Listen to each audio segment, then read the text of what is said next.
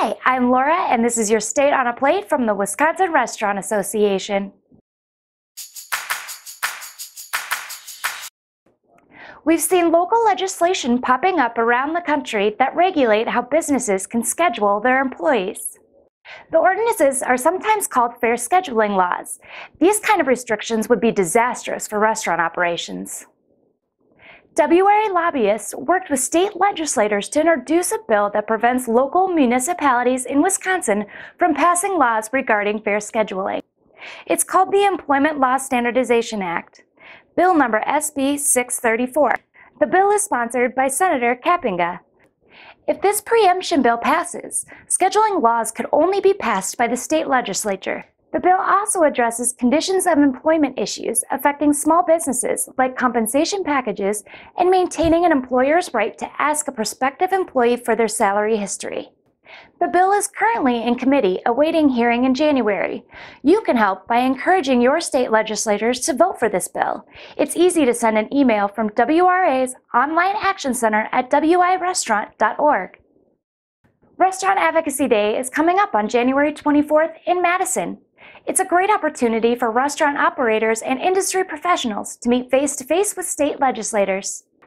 WRA has the entire day planned with visits based on legislative districts for each participant and a briefing in the morning on key legislative issues.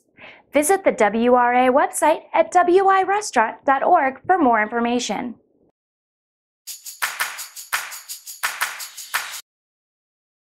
Here's our hotline tip of the month. If your restaurant is a WRA member, you are automatically enrolled in our gift certificate program that helps bring new customers through your door.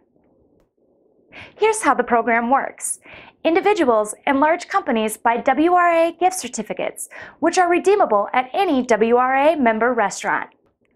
WRA gift certificates are especially popular around the holidays, so you might have customers come into your restaurant wanting to redeem them. The reimbursement process for restaurants is easy. Just fill out the information on the side of the gift certificate and send it to WRA. Your restaurant will be reimbursed within 10 business days. Sometimes staff can be skeptical of the gift certificates if they don't know about the program. Make sure your staff is informed about your restaurant's participation in this program as a WRA member. Let them know that your restaurant accepts WRA gift certificates and review how the program works. You can get a handy decal to remind your employees. Just call or email WRA and we'll send you one. Questions about the program? Just give WRA a call. Don't forget, the WRA hotline team is ready to answer your restaurant operations questions. Just call or email for quick confidential answers. If you found this video helpful, check out the WRA website for even more useful information, wirestaurant.org. That's it for now. We'll see you next time for your State on a Plate.